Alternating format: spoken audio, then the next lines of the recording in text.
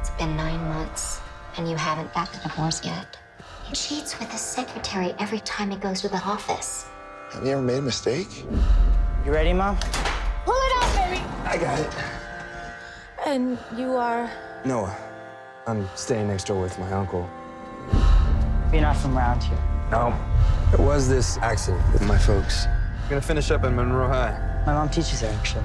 Seems too cool to be a teacher. God, you're beautiful. I'm sorry, I, I shouldn't have. It's okay. It's the nicest thing anybody said to me in a long time. well, then I'm glad I said it.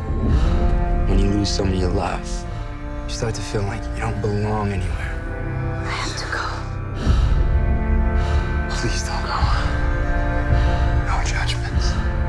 No rules. Just us. Look, Noah. I was feeling vulnerable. I'm the adult. I wasn't thinking clearly. I can't do this. Hey, Noah, do you want to stay for dinner? Hey, Mrs. Peterson. Tell them what happened this weekend. What happened? Oh, there was there was a big thunderstorm. You guys didn't get it up there? No, dry as a bone at the lake. Well, it got pretty wet here. Principal Warren.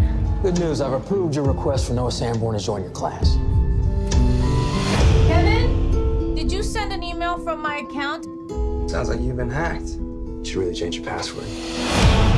Your father seems to be around a lot now, huh? Yeah, I guess. Don't forget that he walked out on you. Honey, I need you to stay away from Noah, okay? See you at school. Bye, guys. Oh, my God. What's going on? Gonna lose my job, my son, my life.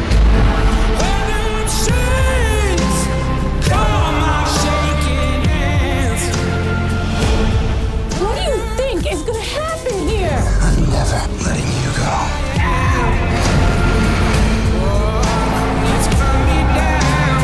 Stay away from me and stay away from my son.